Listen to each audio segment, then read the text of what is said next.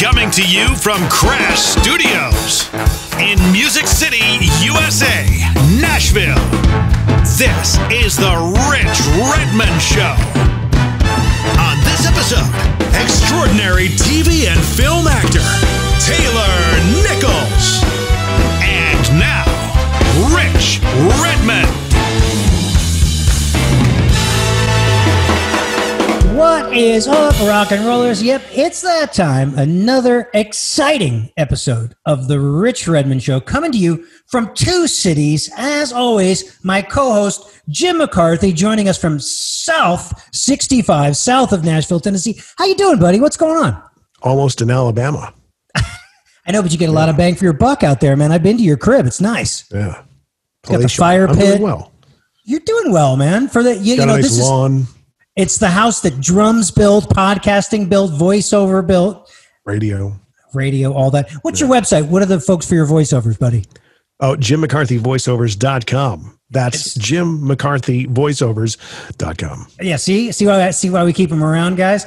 and uh, let's just get some housekeeping out of the way. Usually we say this to the end of the show, but I just wanted to thank everyone out there. We're coming up on 80 episodes. This is just something that was born out of one drunken evening with Jim and I, and we kind of built this thing with a little sweat equity. And you guys are loving it. We're talking to musicians, actors, comedians, thought leaders. We're having a blast. If you guys want to give us some praise, you got some criticism, I got an email address for you: the Rich Redmond Show at gmail.com. Jim, let's get into it because I don't want to keep this gentleman too long. He's important. He's busy. He's talented. He's a new friend brought to uh, brought to my attention by. I mean, of course, I've seen him in my youth all over TV, all over the silver screen. But our but our friend Steve Cooper is like, oh my God, you got to interview this guy. Um, he's a veteran of theater, TV, and the silver screen. My new friend Taylor Nichols. hey, how you guys doing? Hey, it's so Well- cool. At the NBL games with the with the with the audience noise cracked in there. Yeah, man. I like I like the fireplace and the bookshelf there. It almost looks like a one of those faux backgrounds, like a preset on Zoom. Oh, it's uh, it's my living room. Very nice, man. And and we we figured out that we're about a half a mile from each other, Yeah. maybe a mile from each other. We'd have to meet sometime and during safe um, uh, safer times when there's no zombies over at the little Starbucks. I don't know about you guys, Jim. I think Jim is a little bit less conservative than I've been, but it has taken me six months to go get my favorite thing in the world, iced coffee. Yeah, yeah. I've been af- afraid to do it. Like I, I got like the hazmat suit, and I'm undoing the the straw, and then I'm wiping and sanitizing the plastic, and I've. Right. It's it. This is so old. So do you Do to mask up for the interview here? do you go with just a standard uh, edition blue Well, medical I- mask? I, I went to pick up some dinner last night and I forgot my mask. And so the people where I was picking up the food gave me a mask, and that's what they gave me the yeah. standard, you know, emergency room one or whatever. People are getting crazy. I mean, my mom was a nurse for like, you know, 40 years. They finally let her retire. Um, she threw in the towel and she's busier than ever, of course. But these things are high fashion now, these masks. I mean, people are, you know, putting zebra stripes on them and their well, I love the logos. and- ones. I love the Dodger ones. You know, college Mm-hmm. football. So we had a comedian, Jon Reep, on. He's kind of like a kind of like a southern comedian, you know. Uh, that thing got a Hemi in it. He was that guy uh, the, for all the Chevy commercials, and he's just got his face on. He's got like his lower portion of his face on the mask of his own face. of his own face. Yeah. I want that. I not his, mine. I want to get one of my hand. right. It's like See that. no evil. Hear, hear no evil. God, I hope this goes away. My God, it has been a very insane, challenging seven Well, months. From, from what I'm hearing from the top, we've we've rounded the corner. yeah, oh, really? That's good, right? Yeah, it just depends. You know, it's really funny, and you guys can we this could be a whole other rabbit sh- rabbit hole. But you know, I've never been like a news guy.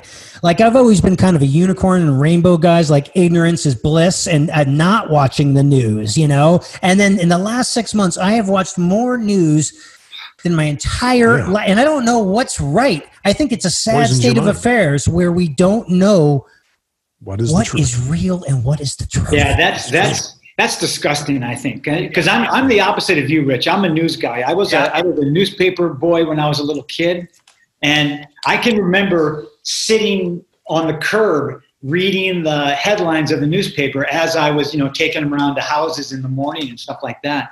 Uh, so I've been kind of a news junkie all my life, Yeah. and I, I'm in the same place. I, you know, I hate to say it, the last thing before I go to bed, I'm reading the news. The first thing in the morning, I'm reading the news, and I don't think it's healthy. I, Yeah. I think you got to get it, you know, out of your system Yeah. a little bit. Yeah. I worked in talk radio for four years, and the best thing I did was get out of it. Yeah, yeah, yeah, yeah. So, and talk radio especially. Yeah. You know, um, Well, that even, you know, Terry, I like that Terry spectrum. Gross. She's very, uh, she's very soothing. she's my favorite. Is that NPR? Smart. Yeah. Hey, I'm gonna open a window. Hang on. You got it. You got it. Hi, I'm Terry Gross. This is NPR. Like that? Yeah, that's her. Is that how she says? She's always got guests on. They're they're usually like more like from the classical realm, and it's deep, deep stuff. Yeah. Oh, she's she's she's a real national tre- treasure. You know, um, she's so I haven't had heard of her. prepared. Oh, I, I, her show is called Fresh Air on on NPR, and uh, you know she does politicians and athletes and entertainers, but also journalists and writers. I mean, it's just yeah. I, I I'm a big bike rider, Rich. I ride around West Hollywood, Hollywood all the time, and that's that's what I listen to when I'm on my bike. You know, Oh yeah. So so that's your thing. I just got back from like a six mile run. So like I've been like I'll do a as long as it's like it's it could be a just straight up walk, and I'll do all my phone calls. But at least I'm in nature, looking at the palm trees. I'm getting some vitamin D, and then Yeah. sometimes I'll just straight up just go after a, like a run and turn on some like metal angry music. So that's your thing. So it's like like the ten speed, not a mountain bike, a a ten speed. Well, I, I ride all kinds of bikes, but Yeah. uh, like in the mornings, I'll ride, uh, you know, with spandex. I'm, I'm, I'm that guy you see in spandex. You're like you know? Paul Rudd, and and this is forty. exactly right, which is so. uh, but but also then in the afternoon when I'm running my errands and shit, I, I ride my other bike. Uh, I always like to tell the story. I, I bought this bike. Uh, it's a Bianchi off of a drug dealer in Aspen, Colorado in 1984. Oh, there's a lot of them there. Yeah. Yeah, so uh, but but that's the bike I just ride around town and you know street clothes and, and Yeah. all that. So, Have you gotten into the e-bike trend? That you know, thing I have happening? not, but but a lot of a lot of my friends have, and they and they love it. It's a game changer, man. It really is. Yeah, It's like well, I've ridden one once, and I'm going. I could really get used to this, and yeah. I, I would get no exercise whatsoever. Well, you'd be surprised. You a lot of them you you have to keep pedaling. You have to pedal also. So But some of them have the throttle. It's like a it's like a moped. yeah. You know? So when you mention Aspen, that kind of makes me think of, of your lineage because originally you're from Michigan, am I correct? Correct. Yeah, that's right. And then East Lansing. yeah, Michigan, Michigan State University, right? My So my, my brother went to school at uh, Thomas Cooley School of Law. Sure. Yeah, Lansing, Michigan, right?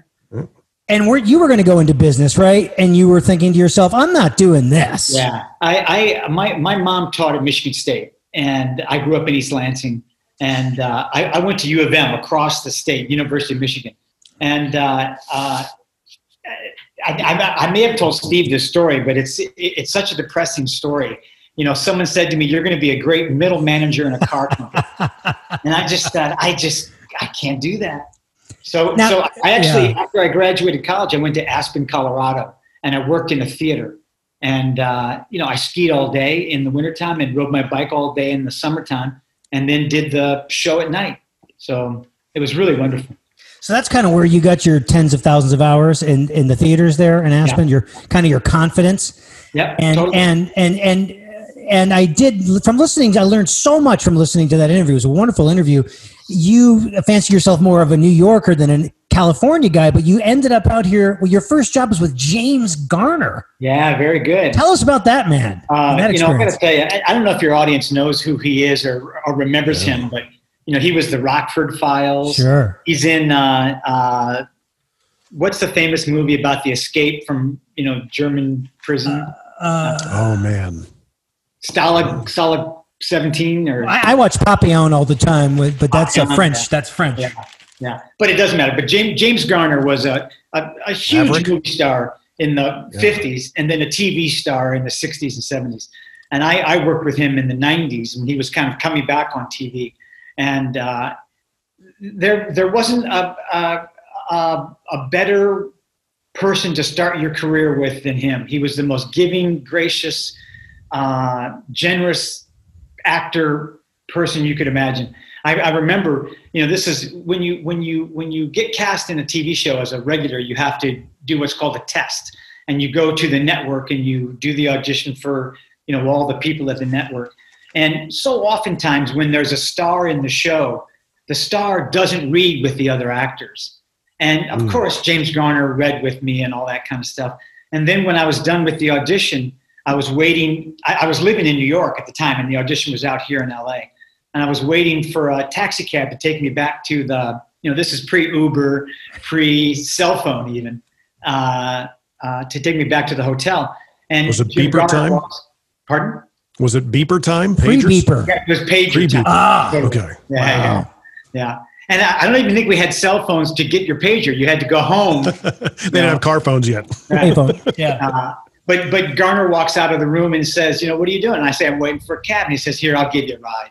Wow. And he gave me a ride home to the hotel, and you know, he was just he was wonderful.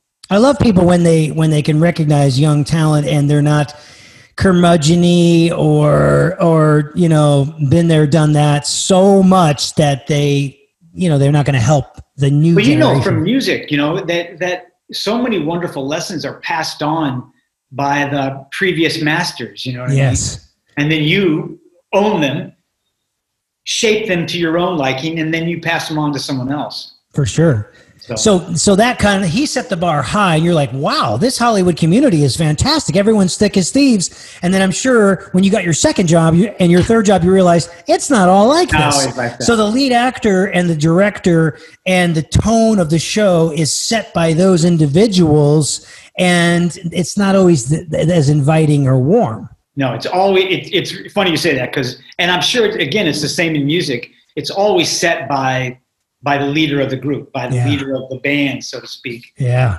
uh, you know, and if that person is gracious and, and confident, because that's usually what it is, it's if they have confidence, then everybody else is free to do their best work. Sure. And if that person's not confident, then everyone's scared because the lead person is scared. It's so it's so true, and and yeah, those commonalities are there in music. You know, as a result of my relationship with my boss, Jason Aldean, I've been working with him for God, we've been working together for 21 years. I've been able to work with all these other recording artists, and you realize that all the recording artists, like the Bryan Adams or the Bob Segers or the Ludacris or the Kelly Clarksons of the world, they're at the top of their the food chain and they have that confidence but also that humility and that sense of community it's usually the people that are in the middle that are stuck and are trying to get to that next level they'll never get to the next level because of their horrendous people skills their attitude did no, you find you're, that you're yeah exactly right. I, I think you're exactly right. It's the same thing in, in film and TV. The, the big stars are gracious and great and fun to work with and want you to be your best. yeah And the ones that are the B level or the C level are a little bit, they have a little chip on their shoulder, you know?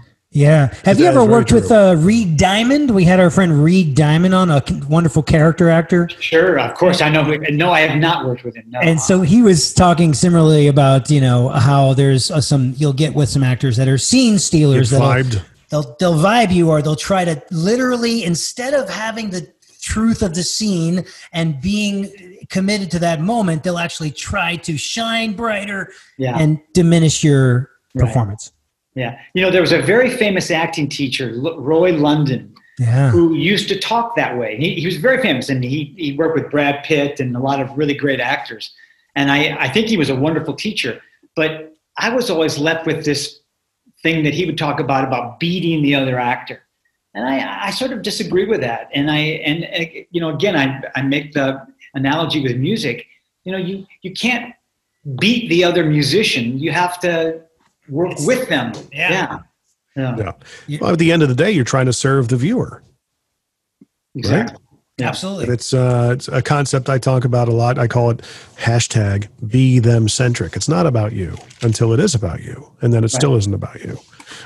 And then it still isn't right. Make it more about them. Make it, you know, what's in it for them, you know? You know, you know, there's a great. Uh, I I teach acting, and uh, Where? I got to take your class. it's it's a fun class. You would actually dig it. Uh, we have some good people. I I teach at UCLA. Wow. I also teach a private class here in LA, and uh, I I always have this feeling if if you know Jim and I are in a scene together, and when the scene's over, I say to you, Rich, I say, God, wasn't I great in that scene? Did, did you see me in that scene? Then the scene's probably not very good. Right. But if Jim and I do a scene and I say, God, did you see Jim when he kind of nodded his head and then swiveled in his chair? Wasn't he great? Then the scene's probably pretty good. My focus isn't me. My focus is on the other person. Right. This is And why that's I not- wouldn't make a good actor. That's the whole deal where it's like acting is 90% reacting and listening and being in that moment. And I love that because it gets you out of your head. It try to get out of our head, you know, in that conflict between the right brain and the left brain where you're, you know, your your left brain, which what which what is it? Which one is the super creative one? That's right, right? I, I don't know. I think so. Yeah, I, I do so many, I read on this so much and I'm having a blank. But one side would be, you know, hitting your mark, framing, eye lines, memorizing your lines. And then the other one is where we really want to be, which is just letting it all go. go. Right. Yeah, yeah. So I study with Leslie Kahn. Do you know her, Leslie Kahn? So, so I've taken her comedy intensive, I've taken her dra- drama, and I've taken her scene study, and then I've, and now we're like for the last six months I've been studying with her on Zoom, oh, and Oh, it's yeah. like for after six months it was getting crazy where it was just these little avatars that looked like the Brady Bunch or Hollywood Squares, Right. all of us talking, and this is so weird. You know, it, it's funny that you say that because i i if someone had asked me eight months ago, "Can you teach an acting class on Zoom?" I would have gone, "No way. Yeah. It- it's impossible." Are you doing it? But yeah, but after doing it for a while, it actually works pretty well because we we interface with the camera. You know, so mm-hmm. when I'm looking at you, I'm looking almost directly at the camera. Right. So the audience sees the same thing that my partner sees, which is me looking at you, and Yeah. that, that's that's surprisingly effective. And Do I seem like I'm engaged because I'm not not looking at the camera? no, no, you don't at all. In fact, I I thought you were on break for a while. He's he's going for the Howard Stern thing, which is the which is the cocky side camera. right, right. Is Yeah. that cocky? Not, co- I mean, it's just kind of like you know, look at me, don't look at me. Okay, I'm not. I'm not That's right. looking You at see you. what I'm doing? See how important I am? no, but I mean, Do you eh, know who I'm going to be? Eh, this this self taping business is not going away. I mean, I actually got into acting at the tail end of going into a room, and I mean, I love going into the room, and where the person's like, "Okay, it's a hosting job, Rich. It's a walk and talk," and I go and I go, I go, "Can you turn the font up?" Like five times as large on the teleprompter because I'm so old, Yeah. and they'll do it for you, you know. And you go in, you just Give me some it. binoculars. But now it's this like is, one word at uh, but now everything is self-taping, and you've you've really got to you've got to have your ring light, you got to have some good audio, you Have they know. have they gotten into like on a script? And from my reading of scripts over the years for various commercials and stuff like that, in radio everything was in capitals, right? Um, I believe every font has a voice. Does that make sense? You ever read a sign and hear a voice assigned to the actual Helvetica or Geneva have different Yeah. personalities. sign? Yeah, you know, like a, a, a Geneva, Yeah. New York Times, right? impact. You know, and you know, uh, what was the other one? Um, uh, the the movie trailer font that they always have. It's a Trajan. It's called Trajan. Trajan. Wow. Font. Trajan font. It's got an epic type of sound. Right. You know. In I a mean, it- world long ago. Yeah. I mean, it, it- does anybody put apply that to scripts now? You know, different fonts to convey how what the writers are thinking, or Hmm. Well, they they do do it with with italics. Italics Okay, yeah. often means like an emphasis or something like that. But I, I've not seen it with different fonts. But I love that idea. Yeah.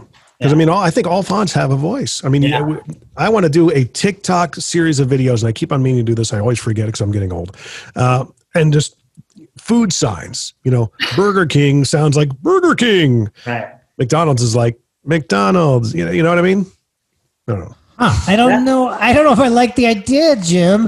Um, I, I think it's a great now. idea. You have different characters speak in different fonts. That's right. You know? but I Do think you do all. character acting Speak in a too? Very flowery, you know, Yeah. script. I mean, all fast food fast food restaurants. I mean, the, the logos are all in orange, yellow, and red, which are the most striking colors to the human eye. indicate Which food. yeah, it's like look at me, look at me, look at me, look at me. Hamburger, ketchup, mustard. You know, Yeah. that's true, isn't it? In and Out Burger, red and yellow. McDonald's, red and yellow. Yes. Well, you, you got a, a Culver's, which is out here. They're blue and white, which is interesting. Is there? Yeah, uh, White White Castle's blue and white. Yeah. Yeah. Jim, have you had the In and Out Burger? Have you experienced that? I have. I got to be honest. I don't get it. I, I don't get the French fries. I, I love the No. freshness of the burger, and I love how limited their menu is. They're just like, we do burgers. That's Yeah. it. And, and of course, their business model is incredible because it's so fresh, it's clean. 24 hours a day, there's a Easy. line wrapped around the ah. building. Yeah. But the fries Like are soggy and crappy. Yeah. No, you, you- Chick Fil A's got yeah. You, no, go ahead. Chick fil A does the same thing.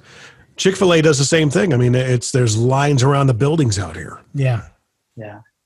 I, I was going to say you put In and Out burgers with with McDonald's fries. Yeah. Oh, there you yeah, go. I can see that. That would be an amazing combination. So you have a um, an anniversary that's happening this year, right? Isn't it the 30th anniversary of your film that you were in, Uh, Metropolitan. Yeah, yeah. Metropolitan? Yeah. How do you feel about that when you when you can look back 30 years? I mean, that's creeping up on me too. I just had my 50th birthday, went out to Joshua Tree, looked at the stars, banged on my drums like uh, McConaughey. It was a great time. But I, I'm thinking to myself, All right. I remember when 30 was old, and then, God forbid, 40. 50, oh yeah. my God, then you're 50. Yeah. Yeah. Wow, that was an early opportunity for you. I mean, that was a great opportunity early. Yeah, it was it was my it was my first movie, my first on on screen job, yeah, and uh, I think had had had anyone asked me at the time what was going to come of that movie, Yeah. I would have said nothing. You know, I I didn't understand a lot of the humor in the movie really even at the time. I was so earnestly uh, engaged in you know my character that I kind of missed the the comedy, which I think is what made the comedy work. You know, I Yeah. think had, had I been trying to be funny, it wouldn't have been funny. yeah. You didn't try to sell the joke; the joke just sold itself. Exactly. Yeah. Yeah. Which is what I've done all my career because I haven't understood any of the scripts that I've done. No, I'm teasing. uh, um, it was really funny. We we went to S- Sketchfest, which is a big festival in San Francisco every year. They did the 25th anniversary screening of Barcelona, the next movie I did with with Yeah.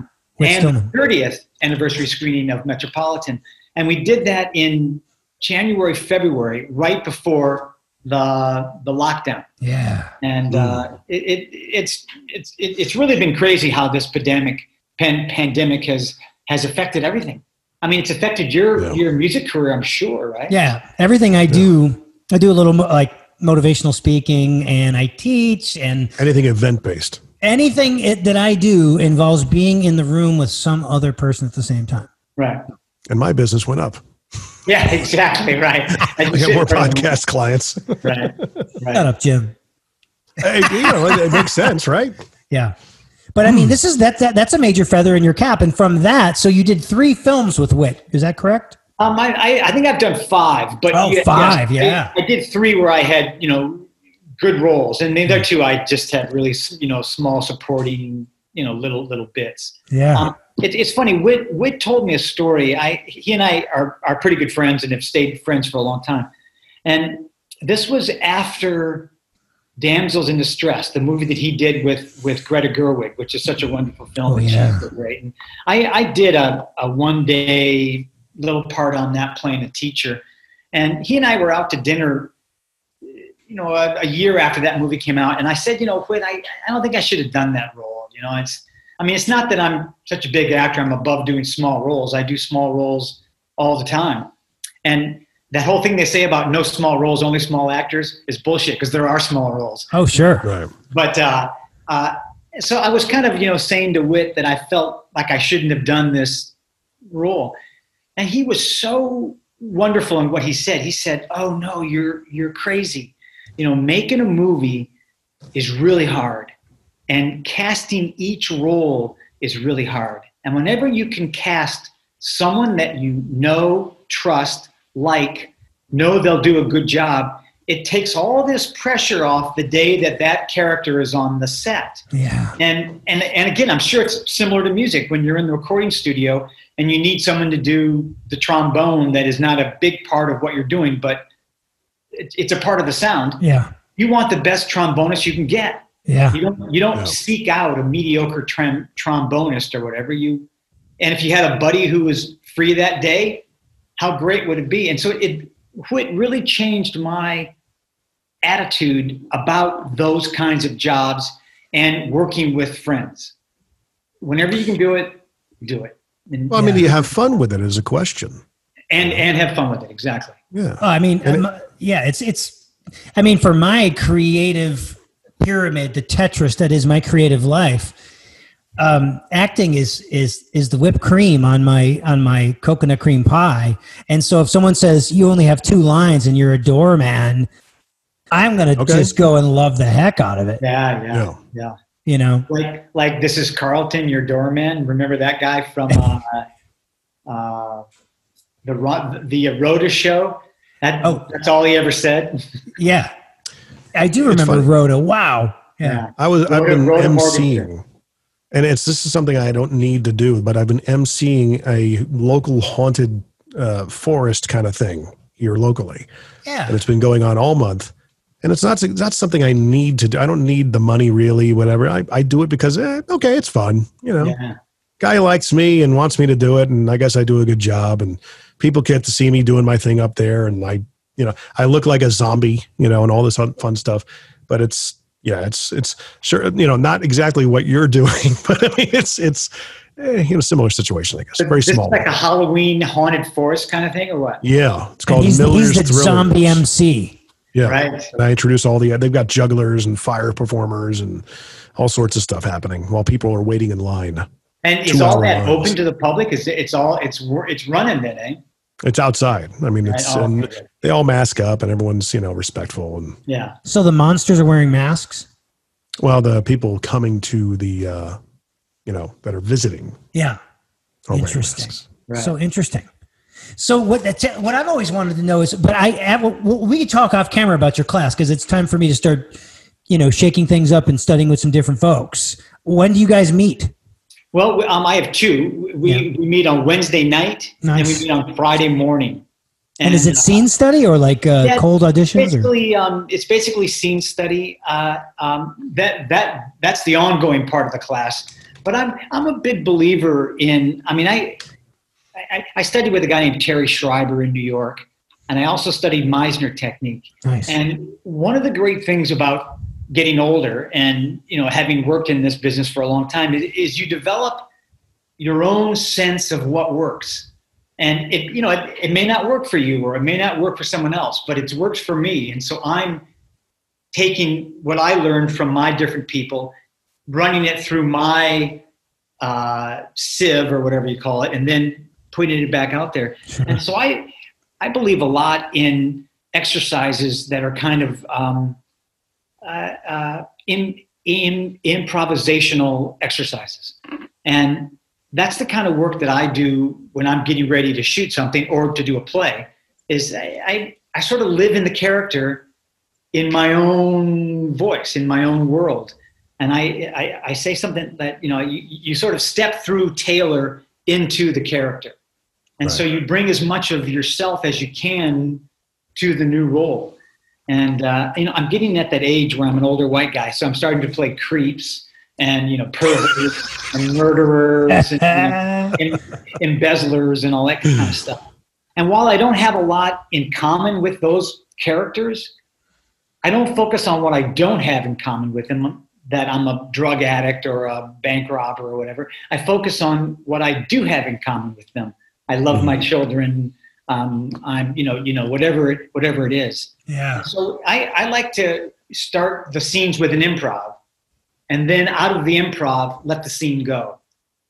Oh, you start with improv. Interesting, because I, I had a teacher, um, a casting director, big casting director in, in Nashville, and we would do the scene as is. And she says, do the scene again, and then drop the sides and continue in character as an improv to end the scene. Right. But also, also, except then it's too late to affect the scene.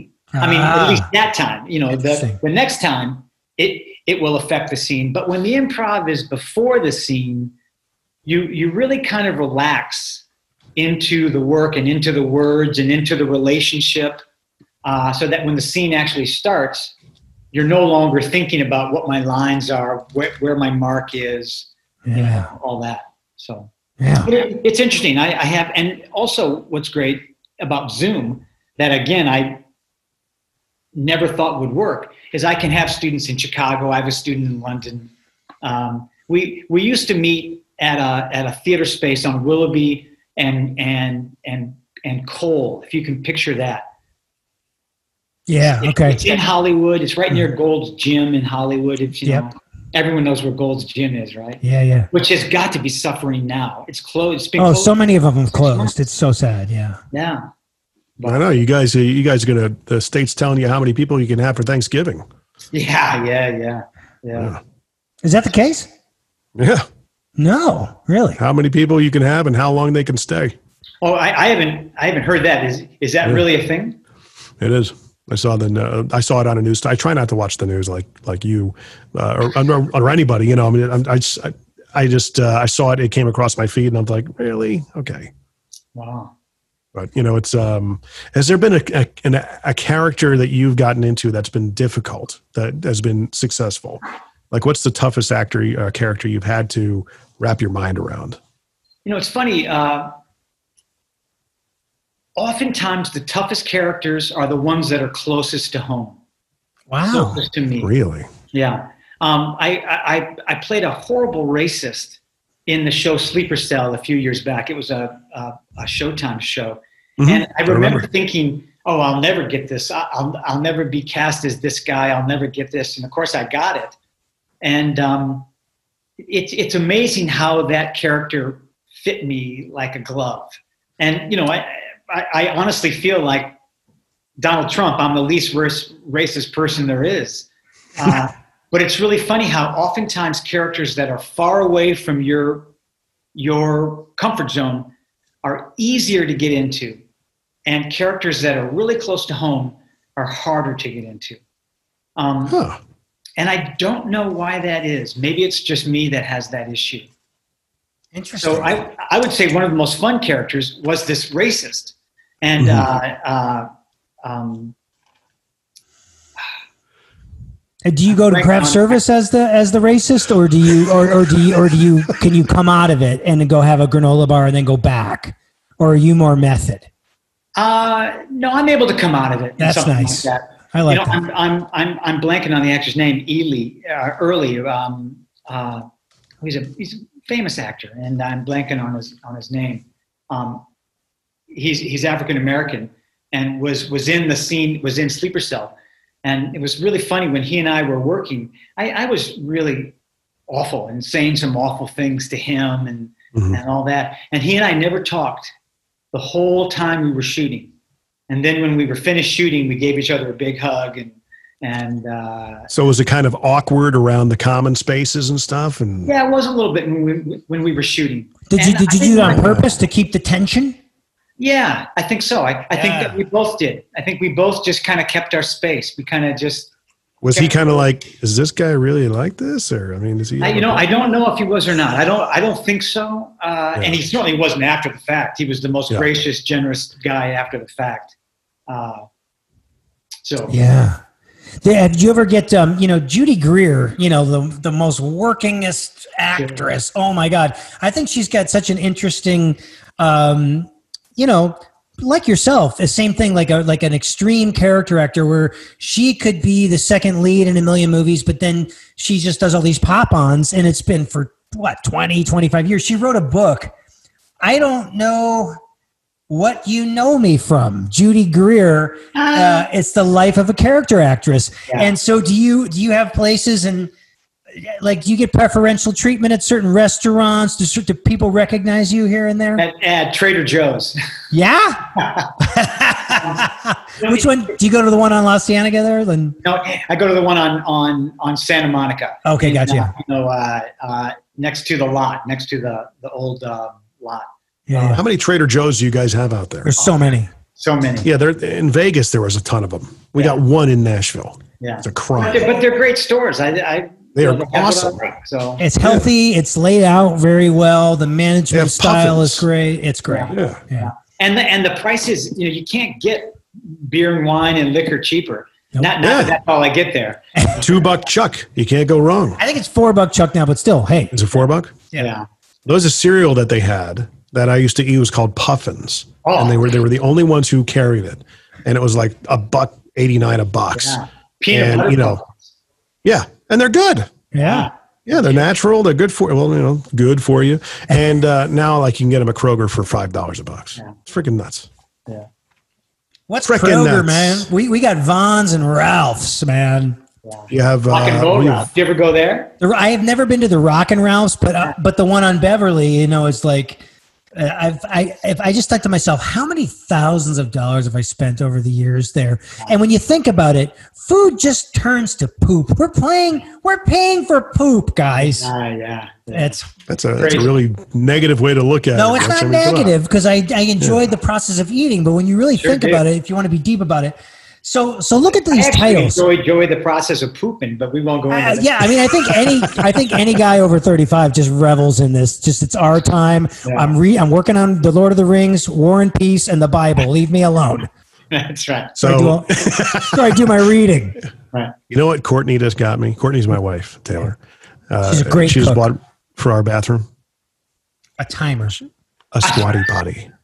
A what? Oh, I got the time. I got the timer for Christmas for my kids Yeah, yeah. because they didn't want me sitting on the toilet before they get the open presents. But uh, a squatty potty. You ever see those? oh, yes, I have. Yeah, And it works. I mean, you know, I've dropped like five pounds. you know, I- a uh, This episode a brought to you by Squatty married. Potty. A friend of mine got married, Jim, and he and that was on their wedding uh, on their wedding um, Oh my God, registry. Done. on their wedding register, a squatty potty, and, and I should have fucking bought it for him.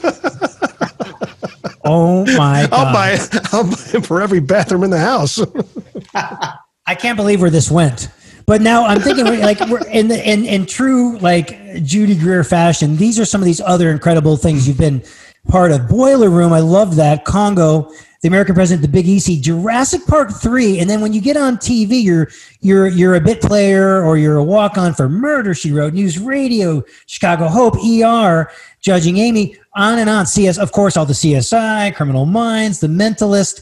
But then you had a big part in a Mike Binder show, right? The Mind of the Yeah, Married yeah. Man. Re- really, a really a wonderful show. Mike was great. Was, I remember watching it, and and Mind here I am talking Man. to you all these years later. Life is so cool. Yeah.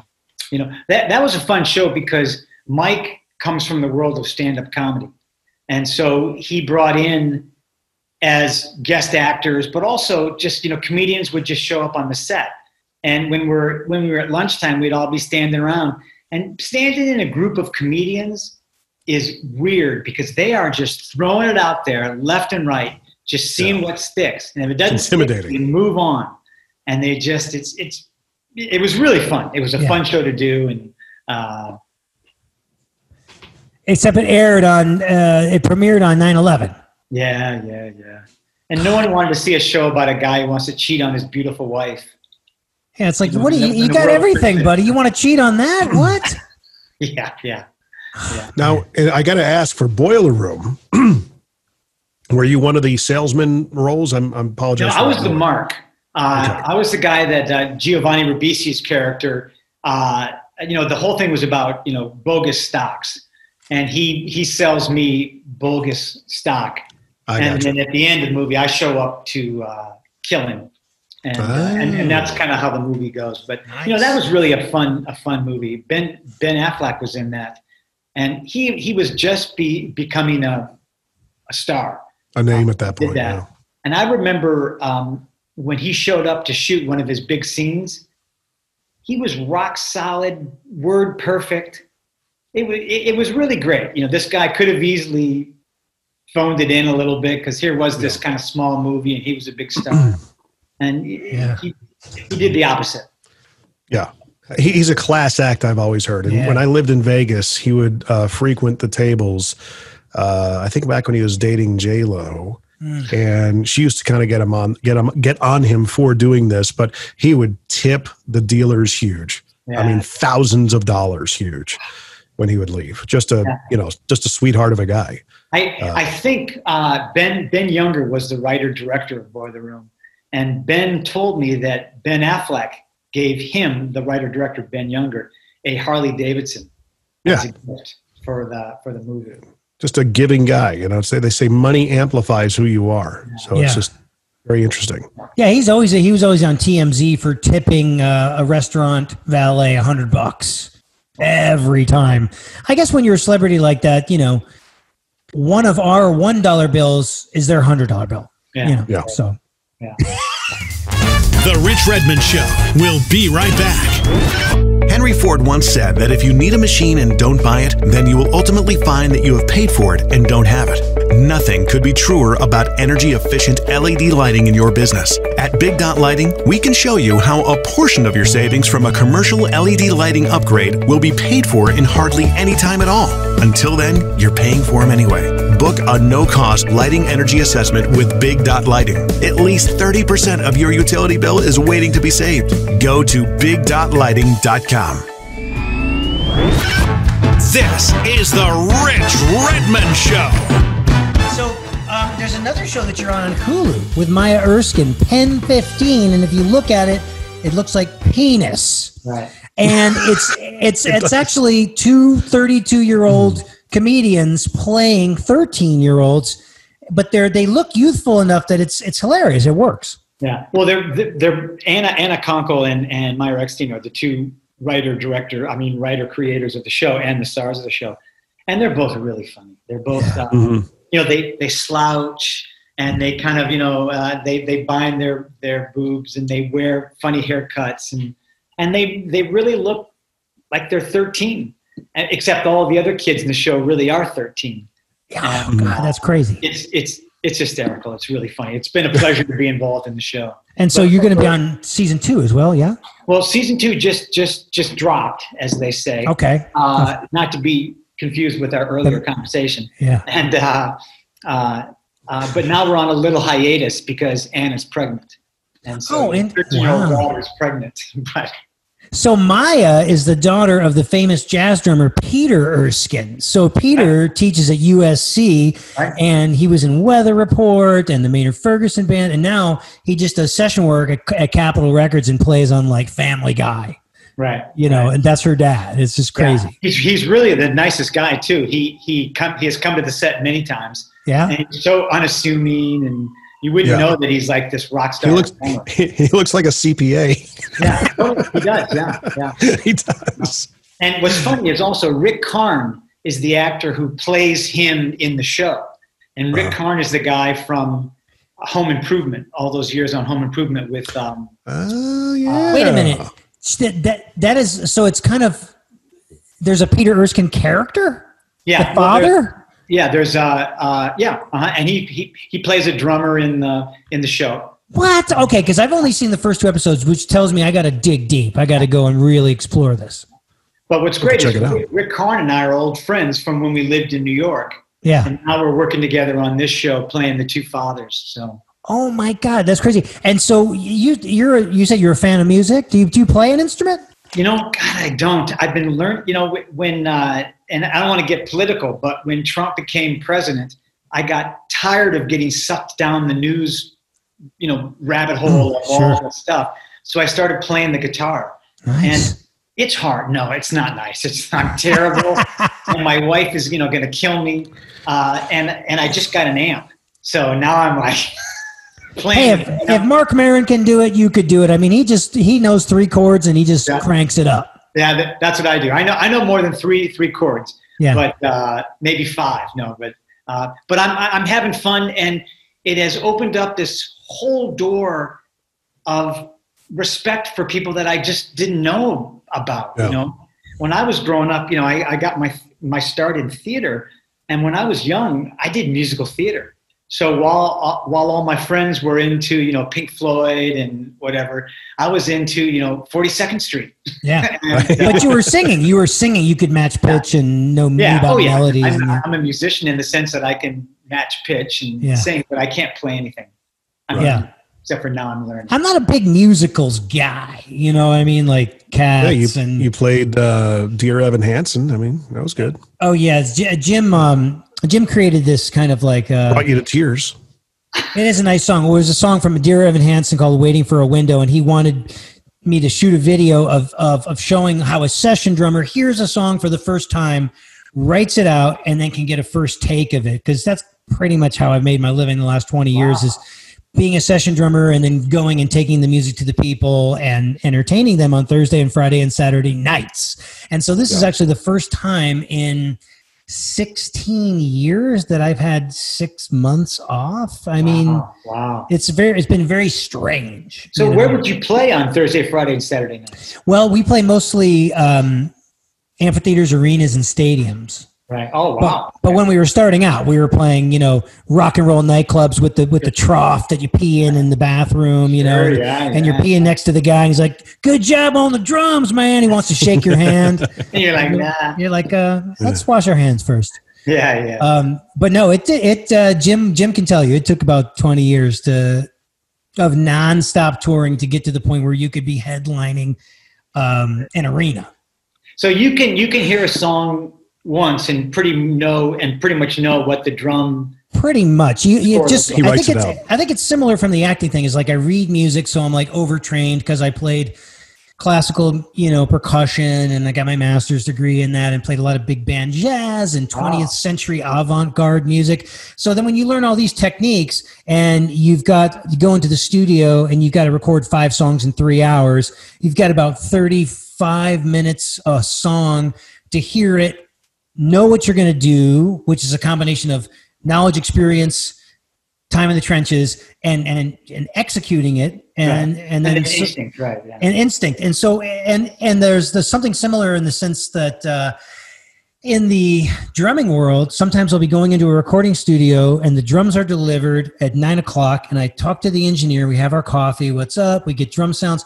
The band shows up. Then the artist comes up. I've never met the artist before. I have to meet them, find commonality with them, give them what they want, provide a service.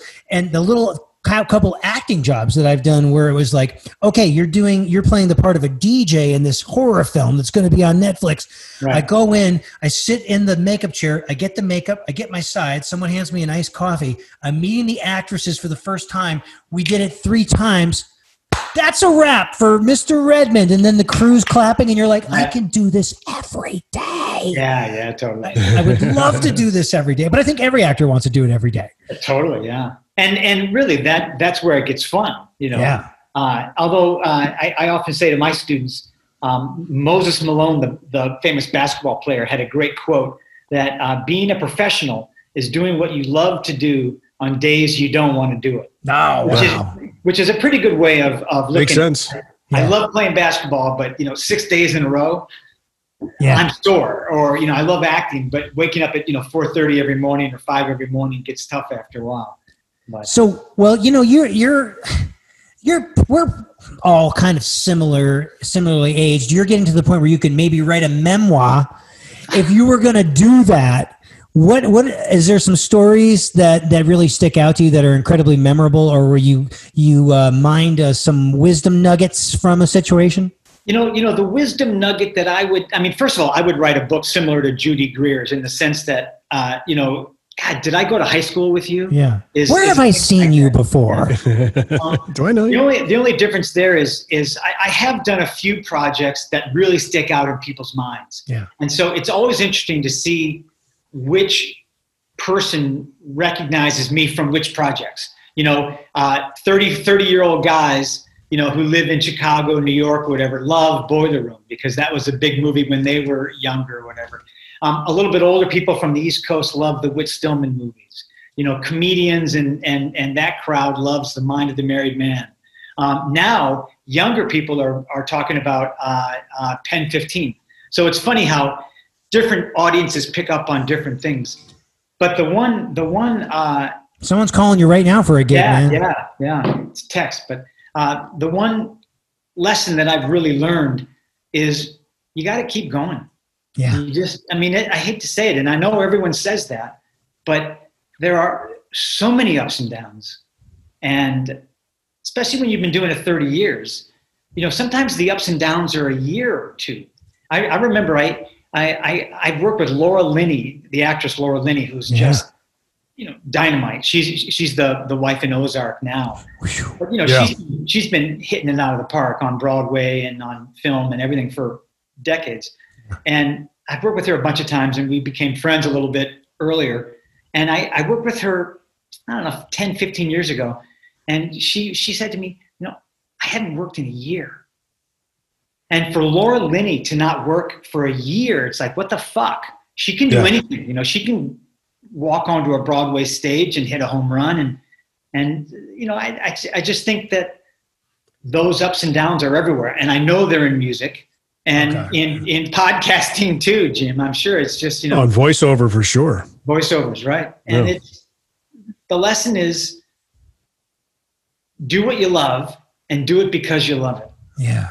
And don't worry about all the other stuff because yeah. there are, and I'm sure that Brad Pitt has ups and downs. I'm, you know, I'm, I don't know, but I'm sure he does. Well, I remember it. Yeah, in the early days, I think someone said, "My God, you're gorgeous, but you really need to take classes." Yeah, and, yeah. and so he got him his butt in classes, and it and it evened everything out. But that's uh, what a great resource for your students. They're studying with you. Not only can you share the, the hard earned techniques, but you could probably kind of like spoon feed them some uh, acting career advice. Like, Absolutely. what do you do if you're not working for a year? Well, right. you got to keep your mental and physical sharpness together, get your exercise, stay positive, maybe go do some plays, do take some classes, stay yeah. sharp. Yeah, that, you know that's that's exactly the same kind of you know advice I I talk about. Uh, and and one of the nice things about my class is we do do a lot of that. It's not a business class, but there's a lot of business in the work yeah. because you have to navigate.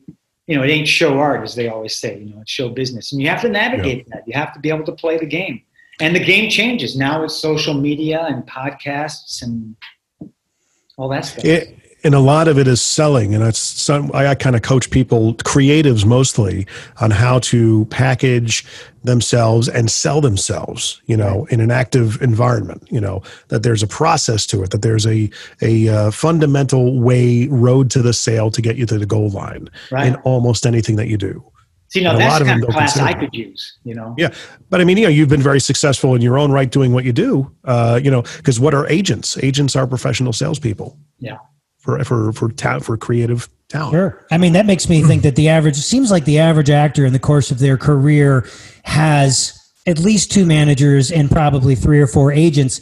And there's there's a, I'm always surprised when I listen to an interview with an actor that I says I have the same agent that I started with. Right, right. Have you been able to do that, or did you make a couple of changes? I, have had two. I, yeah. I, I, was with one agent, Harry Abrams, for a long time. Yeah. And then I switched to uh, Sue Sue Wall and Darlene Kaplan at TalentWorks. And uh, um, I, I, it's funny because I, I have always wanted to have sort of one agent. Um, and Harry uh, was a wonderful agent, and I love the agency. But I got to a point where I wasn't having the career that I wanted or that I thought I should be having. And I said to myself, I, I can't stay with the same agent all my life if I'm not having the career that I think I am, am capable of having. Sure. So I, I made a change. And my career didn't necessarily change drastically one way or the other, but at least I knew that I was taking control of my own destiny by making the making the change. And yeah. uh, ultimately, I think it's been good. Nice. Fantastic. It's yeah. tough to do follow up calls in the acting world. Yeah. So uh, I just want to follow up with you and see about the pitch I made to you the other day about that role. I uh, just want to get your thoughts. Is there anything else I can do for you about that? Yeah. Are we ready to make yeah, a decision? Or it's so funny because my my wife says, you know, hey, you should call them. You know, you you had this great audition for this job. You should call them. And I'm like, yeah, I'm quite certain they will call me if yeah. they want. No news is no news. No news yeah. is no news. You just go in. And voice. yeah, I just, just I just auditioned for a pretty sizable voiceover gig, and I do make it a point to reach out to the agent and say, "Hey, I understand. I don't want to you know put anything on you, but if you know what, do you need anything else from me for this because I really feel like I've kind of hit on it and everything. And they're typically appreciative if uh, if you reach out and it's succinct and you're you're bringing something to them of value. Right. Of uh, you know, no matter what, I want to make sure I make you look good. Right there, you go. That's yeah. what I want to do. Yeah, I, I often say to students, you have to sell yourself to the people who sell you. That's sales. Yeah. Yeah, it's selling 101 and in general. Yeah. And I, I, worked in the car business for a couple of years. That's what I did. I sold me first, then the car, then the dealership. That that had to be a tough job. Uh, but it's like anything else, you know, like what you were talking about, that you have your ups and downs. You want to talk about a business that's got ups and downs, uh, where your back is against the wall, of course. Um, but and I just told this story earlier today. I had a friend of mine who uh, probably about 20 years my senior. He and I became really good friends when I worked for this Mercedes dealership. Uh, he saw me.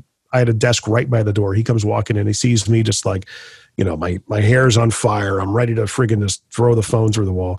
And he goes, "What's going on?" I said, "I got this going on." Blah blah blah blah blah blah. blah. And he's looked at me. He's like, "Jim, it's always something."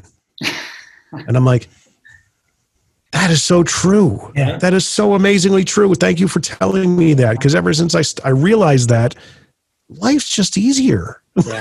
Yeah. It's always It's always something. It is true when you can kind of like you do want to, you know, you don't want to be lazy. You want to put in the effort, but at some point you have to say to yourself, God, if there is some sort of higher power out there, I cannot do this all myself. Right. Yeah. This is And way too hard. Yeah. You can't. You need it. You need a team. Yeah. Yeah. Yeah. And you know what, team. what Jim was just saying about calling the agent, you know, sometimes the squeaky wheel gets a little grease. But Yeah. bring something to them. You know, uh, Yeah. it's like every time your phone rings and somebody you see somebody's name, you're either going to go, "Ugh," or you're going to go, "Ooh, what do they got for me?" Yeah. You know what I mean? Yeah. And if you're that guy and you have that mindset going into it, I always want to be that guy that I've got something Ooh. for you. I'm calling you for a reason. Yep. You know, That's yeah. I'm not just calling you to touch base or follow up or you know. Well, Jim, you got out of the car business before you got to middle management. So, Yeah. didn't you? Yeah. Oh yeah. Am I in middle management now? Is that what I do? No, you, you were, but you were on the way to middle management in the, guitar- in the car on industry. the way to middle management. That's right. I, I don't know about that. I mean, I, I did very well. I really enjoyed the brand. I fell in love with the brand, but it was a yeah, it's a rough business, especially when you're working for a dealership that doesn't look out for you. So that's that's the scenario I had. That's why I well, we'll talk about a business, uh, you know, Hollywood, and sp- a- Mm-hmm. a, a, business where no one is looking out for you, even if they say that That's you true. are. Right. I mean, to, to to have survived over three decades and and and made money from your craft and bought a home and raised a family and and infected three generations of people that have seen you in comedies and dramas, uh, that is an amazing accomplishment. Thank you. Congratulations, that's, you know, man. I got to tell you that that's nice to that's nice to hear. I, I have I have I have two kids in college, and Yeah. you know, I, I'm, I'm in the I'm in the pit, man. I'm, I'm Yeah. digging, I'm digging holes. You know. Well, also keeping marriages, keeping a marriage. I'm, you know, I was married twice, you know, and it's not for the faint of heart. When you're in the entertainment business, you know, I got married for the second time when I was like 38 or 39 years old, and I got my new wife a cat, and I was like building this brand of this entertainer that I'm in, and we were gone 290 days a year, wow. and that's just hard. yeah, you can't you do it. That's that's really tough. That's just hard. You know, we we just dropped our our youngest daughter off at uh, U, UCSB, uh, Santa Barbara, and my wife and I uh, drove around, drove across the country, and and she she called it our our victory lap. You know, it's like we we, we did it, man. done. We, we Yeah. fucking did it. So- Yeah. Now, and what is she had never done a, a, a road trip, so it was. Really, what does your bride do? Is she in the arts? No, no, she's a translator. She's a she's Spanish. I, I met her when I was in in Barcelona, Spain. uh, in Barcelona. Yeah, That's amazing. Nice. and uh, we we just hit it off. We started hanging out together, and uh, then we did the whole cross world dating thing for a while. Oh wow. Then then then she came here. I was actually in New York, and, and I was doing a movie in New York. She came to New York, and we spent about two two three months in New York, and you know totally dug that. And then we got married, and then we had a Yeah. kid, and we had Yeah, did- kid. Did you pick up some Spanish? Can you speak Spanish? Or, yeah. it's really awful. I yes, I can speak Spanish, but no, I you know, you and I can can converse a little bit, but you know, it's really awful. You know, she she's a linguist, and so she speaks you know Italian, French, Catalan, Spanish, English, and she always spoke English. So you know, whenever I would go K, as in what, she would just switch to English. So that's that's my excuse for not speaking better Spanish. Ah. That, that she doesn't want me to. You don't Man. speak any other languages, do you, Rich? I, I you know I uh, I have that Rosetta Stone. I really I think that if you're going to learn a second language in this world, that Spanish is the way to go. Yeah. I, you And know, I- here's a here's I just a feel like I have an product aging idea. brain. I just had an amazing idea. What? What is it? A a an accent training type of thing like uh, Rosetta Stone. For Remember we were talking to Reed, yeah, for actors. Remember we were talking to Reed, and he basically talked about uh, having to learn a German you know, dialect accents Dialect, sure, accent. Overnight, overnight. overnight, Yeah. and he watched YouTube Oh, videos. yeah, so he watched like Hogan's Heroes. he basically that's what he did. I'm going, that's a talent, man. Right, right. Because my my British accent is awful. yeah. Well, because then you have, then you have Cockney and you have you know all the different regions, and it's like, wow. Yeah. I had a client one time do a British accent on it. I said, "Really? yeah, try it out."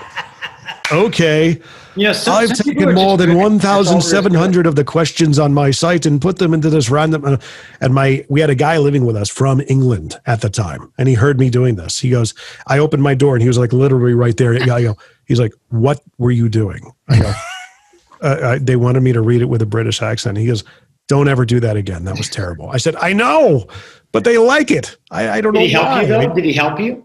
He, he just laughed at me. I mean, he, he was from Wales, so he had a very different accent. Well, you sounded like the leprechaun from the movie Troll, starring Jennifer awful. Aniston. That was her first big role before she got Friends. I know the roles. I know the accents I can do. No, it was called good at them. Leprechaun. It was called Leprechaun. Yeah. Yeah, Oh, crazy. it was awful. Well, you know what? I, I have learned so much, man, and I'm just I'm so happy for you. Congratulations on this 30 year anniversary that kicked off your whole career there. And Yep. we're neighbors, so when it gets safe to get together, we'll have to get together. I and love um, how do you like to be found on the uh, interweb? How can people? Wait, I got a random question here. Oh, okay? that's true. But where can we find you, Taylor? Random question, random question of the day. Don't cut me out, No, pal. that's right. We paid for that jingle too. My good friend Jeremy wrote that jingle, so we better use it. Yeah. Okay, Taylor. Random question of the show. Here we go. Okay. What game do you always lose? Strip poker is is like the answer you're supposed to give. Uh, um, you know, I got to tell you, I gambling, gambling in general, I always lose. A lot of Uh, people do. I, you know, I, I'm not a big 21 player. I, I liked craps. Uh, but every whenever there's money on the on the table, I lose. of course. So I just Like, don't. Yeah, me in the stock I just market. don't do it anymore. I just Yeah. don't do it. When it, when I when I see those stories about like Michael Jordan losing, you know, millions of dollars, I'm like, oh God, how could he do that? But uh, There was a guy one night. We were waiting outside. I think we were in the Bellagio. We were outside the bathrooms. Just you know, everybody was going to the bathroom. And there was a guy there. And mind you, I was in radio at the time, making twenty five thousand dollars a year, and he was feeding into the slot machine uh, thousand dollar bills, Oh no! and it's like gone, gone. I'm like, dude, come on, what are you doing? Yeah, I don't know about that. You know, I, I, I did a I did a show called Sugar Babies, which was a like a Broadway musical, and we did a tour, and the tour ended in uh, Tahoe, in Harrah's Casino in Tahoe for like four months, and I I, I realized that nobody wins in, in those things. I mean, No. even No, the people it's a- who win don't don't win. So When we would have people visit us, we won. yeah, So my wife and I would always be up, and we knew enough to cash out. So her her brothers came in to visit us. We would go play. You know, we'd always play the mega bucks because that was like the lottery. Uh, put stick a twenty dollar bill in it, and guaranteed we just hit three credit, three credit. Ding, six hundred dollars. Cash out. We're done. Now what do you want to do? Go First get five dinner. minutes. yeah, Yep. There's our rent. yeah, exactly. Yeah, I'm not a gambler. I like the free drinks. You know, you just play a little bit of blackjack and Yeah. you know that whole thing. But I don't even really do that anymore. So Nickel slots. yeah, Yeah. we work too hard for our money in the creative arts. I totally agree. I totally agree. and you know, when when I was working at Harrah's, when I was doing the show, uh, they would give us free drink tickets to get us into the casino, and you know, we would cash our check from the show and then you know give it right back to them. So Yeah. Where? When, when were you there? I was there in. Uh, I, it, it's really funny because I was I was doing that show after I had shot Metropolitan before it came out, and so I was actually in Tahoe on location doing this show when someone called me and said, "Hey man, your your picture's on the cover of the Arts and Leisure section of the New York Times." Wow. And I said, "Why?" and they said, "For this movie you did." And I was like, "Oh my god!" and that's, That's cool. that was Metropolitan, and that's what got the whole thing started. I hope you have that frame somewhere. That sounds. Uh, you know, I have it in a box in my garage, but uh, Yes, I have that like in several locations too. Like all these cool like tour posters and awards, and you you put them under the bed, yeah, and then someday like I'm gonna frame them all and put them somewhere. yeah. Well, I, I hope you get back to getting back out there soon, Rich. I'd, I'd, I'd love to uh, come one night and, and Yeah. hear you and see you. So Yeah, we usually play, you know, every couple of years the Hollywood Bowl. Um, we always are always for sure in um, San Mateo, kind of really where where Google is that that area up there, Mountain View, yeah, yeah. that area. You have to love the Hollywood Bowl, no? I mean, isn't that The Hollywood Bowl was a that was a big bucket list for me to see all those Angelinos out there and the stars shining and the Beatles played there and Hendrix played there and I usually go there every Fourth of July anyways to see the the fireworks, Fireworks, and yeah. cry and be all proud to be an American. Yeah. Um, but I that didn't happen this year. Oh, it's closed, completely closed, right? I know it's But so did crazy Rush play there? That's the question. that everyone has played there. Yeah. So um, how how Well, can people find you? Do you like to Um, be found? Sure, yeah, I do. Um, Instagram, CTN7.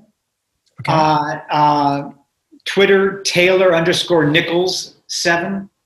Um, and then on Facebook, it's T, T Nichols Workshop Nice. and on Facebook. And those are those are probably the easiest ways. Uh, uh, and I, I love people reaching out, and I like to reach out back and the whole thing. So, yeah.